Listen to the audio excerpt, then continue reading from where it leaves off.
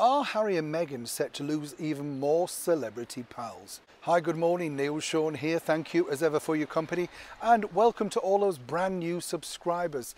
Thank you so much for enjoying the show and as we always say here, moving on with your latest royal story.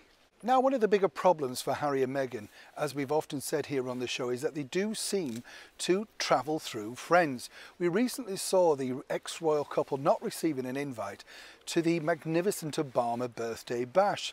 Now, whichever side you fall on, you have to wonder why Harry and Meghan, who had a good relationship with, well, Harry in particular, had a great relationship with the former president, wouldn't be invited to such a spectacular event. But now Harry and Meghan have a bigger problem on their hands. And naturally, it's all centred around Her Gracious Majesty, the Queen. Now, as we know, next year, Her Majesty the Queen has a platinum celebration.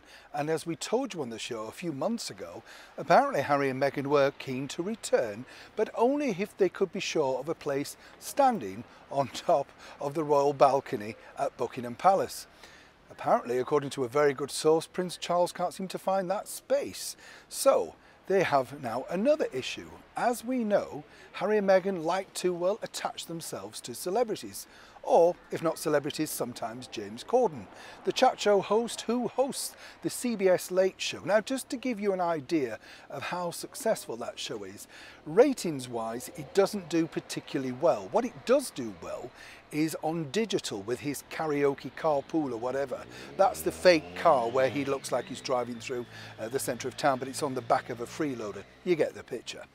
But now, because lots of celebrities still want to attach themselves to Her Majesty the Queen, as you can imagine, the Harry and Meghan are going to find that it's going to be rather difficult for them to attach themselves with their Netflix, Spotify, all of those projects. And let me explain why. Her Majesty the Queen is planning a spectacular concert in June next year. Now, if you are the likes of, say, Andrea Bocelli uh, and, say, Sir Elton John, mm -hmm, you may want to hope that you might get a place in this historical concert. And it's not really just about being assigned an historical place. It's all about sales. You may have a tour to sell, an album, product, merchandise, whatever. But when you appear at one of those spectacular royal concerts, as we saw famously with Grace Jones, where she stormed the party outside Buckingham Palace, it's memorable, it's iconic, and more importantly, you're performing in front of Her Majesty the Queen and senior members of the British royal monarchy. So for Harry and Meghan, if you decide to go into that camp, perhaps your invite to appear in front of Her Majesty might be, well, a little late arriving than you possibly hoped.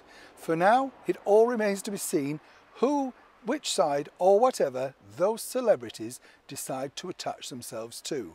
But if I was a major celebrity in the ilk, say, of Taylor Swift, or perhaps somebody as big as, I don't know, Dame Shirley Bassey, I would certainly be looking towards June for a booking in front of Her Majesty. Neil Sean in the heart of England.